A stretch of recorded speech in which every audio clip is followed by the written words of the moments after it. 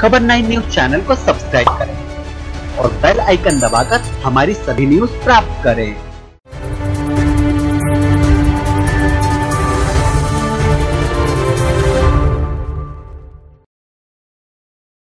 नमस्कार आप देख रहे खबर नाइन और मैं हूँ आपके साथ प्रिया। आइए नज़र डालते हैं आज की मुख्य खबरों पर। बदनावर में भाजपा के कद्दावर नेता जिला महामंत्री मनोज सोमानी का जन्म दिवस बड़ी हर्ष के साथ मनाया गया। जिसमें पूर्व विधायक राजवर्धन सिंह दत्ती गाँव महेंद्र सिंह चाचू बना राजेश अग्रवाल प्रहाल सिंह सोलंकी, दिनेश गिरवाल आदि वरिष्ठ नेताओं द्वारा बधाई दी।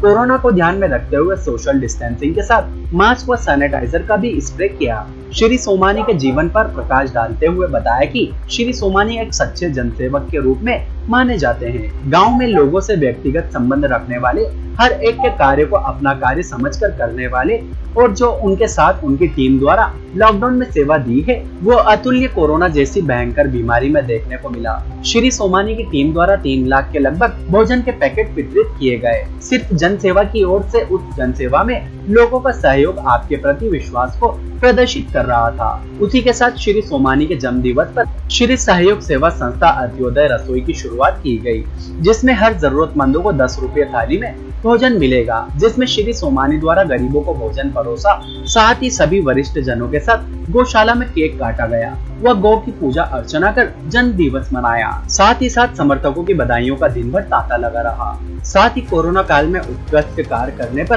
प्रशासनिक अधिकारियों को सम्मानित किया गया।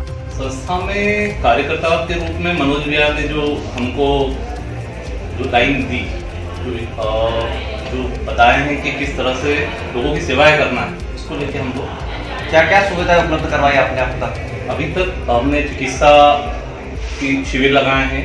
लोगों की जितने भी लोग आए हैं जिनको ज़रूरत थी उन लोगों के इलाज करवाए हैं शिविरों के माध्यम से। लोगों को बाहर डॉक्टरों के पास इलाज के लिए भेजा है यहाँ पे भोजन की निःशुल्क व्यवस्थाएँ की है। लॉकडाउन में जैसा कि अन्य लोग घर से नहीं निकल पा रहे थे वैसे ऐसी बेसट परिस्थिति में आपने घर से निकलकर लोगों की सेवा की। किस तरीके से ढाला आपने इसको अपने आप को?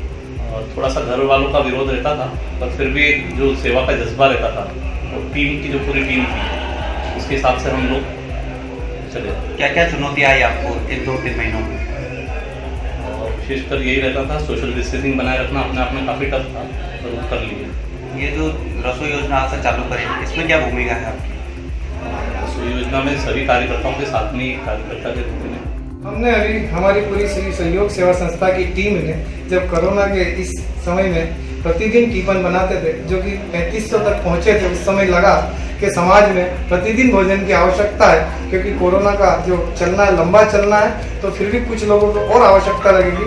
उसको देख के हमने ये व्यवस्था चालू करी है, अंत्योदय रसोई ये जो रसोई की योजना आपने चालू की मात्र दस रुपए में चालू की किस तरीके से इसको व्यवस्था करेंगे आप? हमने कुल मिला के पहले भी हमने जो पैंतीस लाख का खर्चा वाला समाज के सहयोग से प्रतिदिन हमने पच्चीस सौ रुपये शुल्क रखा है जिसमें कोई जन्मदिन हो किसी का किसी की पुण्यतिथि हो किसी की शादी की सालगिरह हो उसके निमित्त उनके द्वारा ये अधिकांश संचालित होगी। आज भी जब हम इसने शुभारंभ इसका किया है तो कम से कम दस दिनों की राशि हमको प्राप्त हुई।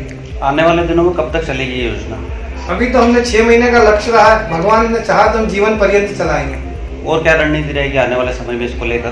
बड़े स्तर अंत्योदय रसोई को लेकर यही है कि बदनावर क्षेत्र के अंदर जब कोई आए और उसको जब भूख लगे तो वो भूखा ना रहे। साथ ही साथ यहाँ से हम संस्कार केंद्र भी चलाएँगे सिलाई केंद्र और अन्य गतिविधियाँ भी चलाएँगे। कानवन से विशाल राव निकम की रिपोर्ट। आज के लिए बस इतना ही। बने रहिए हमारे साथ खबर नाइन में।